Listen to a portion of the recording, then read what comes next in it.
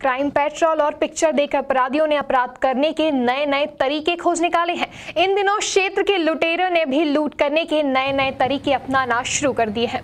ऐसा ही एक मामला ज़िले के तहसील आष्टा में सामने आया है। कल रात करीब 10 से 11 के बीच फरियादी सचिन कुशवा अपने दोस्त के साथ मोटरसाइकिल से जा रहा था। तभी पीछे से एक ऑटो कार क्रमांक M P zero nine C G three one four six में सवार चार व्यक्ति ने उन्हें रोका और बताया कि हम पुलिस वाले हैं। गाड़ी के कागज़ लाइसेंस दिखाओ और ज़बरदस्ती कार में बैठाकर खड़ी साइड ले गए और वहाँ मोबाइल और पैसे छीन लिए।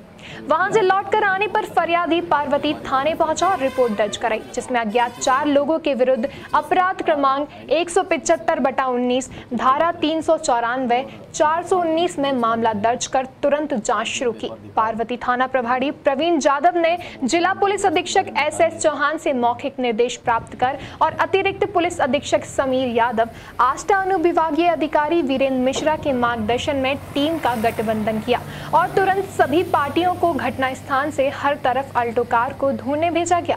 तभी सूचना मिली कि एक सफ़ेद ऑल्टो कार सेवदा वर्ले साइड देखी गई है।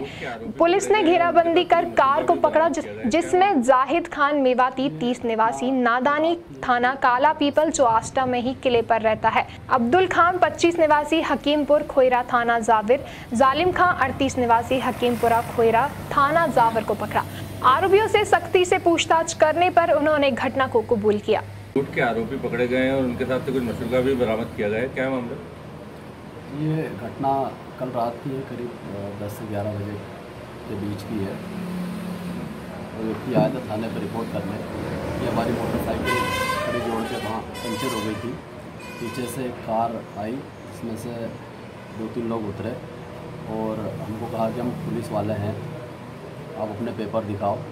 और ऐसा बोलकर हमको जबस्ती गाड़ी में उठा लिया और खड़ी गाँव तरफ़ लेकर चले गए।